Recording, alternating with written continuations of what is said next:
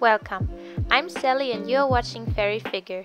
Today I'm showing you how to make this soft and perfectly fitting wig cap. Instead of this rock hard wig cap that I made some years ago. I would recommend to use the actual head from the doll you want to make the wig for. Because I saw on my sarang head that the wig cap from Chloe is a little bit loose. Now let's get started. First remove the hands and the feet of the doll.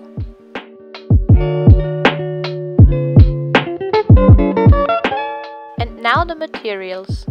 You need a thin foil, I used a trash bag, a soft brush for putting on the glue, a container to put the glue in, a rubber band or hairband, white stretchy jersey fabric, a white glue that dries clear, and of course the head. First we put on the foil to protect the head from any damage. Put the hairband around it and pull the foil down to get out creases. It doesn't need to be perfect straight. Let's move on to the next step. Stretch the jersey to make the fabric thinner. Place it down with a rubber band. Also here, pull it down to get the creases out. Now we start with the gluing part. I found out that it's the best to start on the bottom and move around the head up to the center of the head. Try to brush the glue on very thin. And don't forget the ears. Don't rush gluing the fabric. Take your time and look out for some spots that you missed.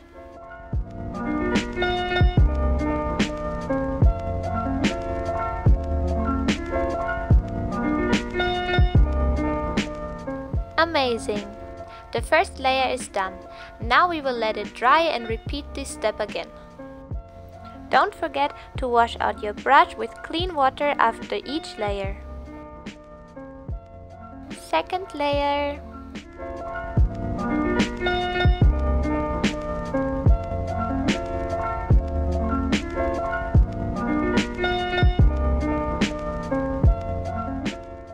I found out that the best is 3 layers, so repeat it again and then let it dry overnight. Then the wig cap is for sure dry and we can start cutting it out.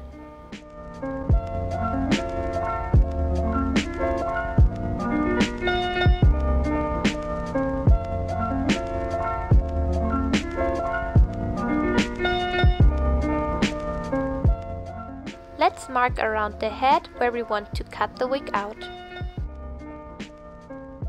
If your creases in the back are really strong, mark a little bit more in the front so you can pull the wig cap a little bit lower in the back.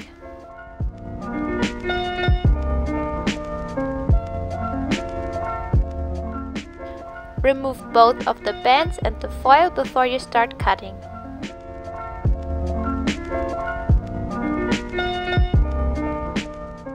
Look, nothing happened to your doll. Nice! Let's cut.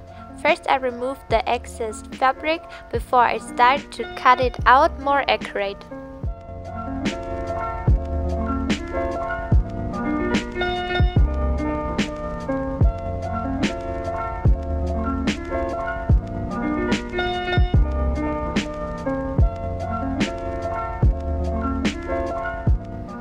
Be careful to not cut into your fingers.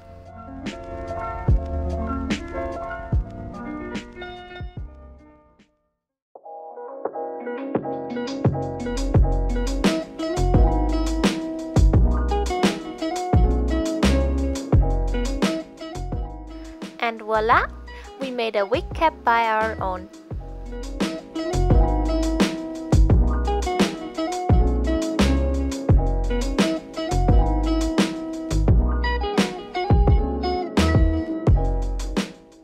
It fits perfectly. I can't wait to make a full wig out of this cap. I made the cap on the Chloe sleeping head. Of course, it also fits her on the normal head. Thank you for watching. If you liked the video, give it a thumbs up and subscribe for more. You can also follow me on Instagram, what I link down below. You can share the video with your dolly friends. Stay safe and see you the next time. Bye!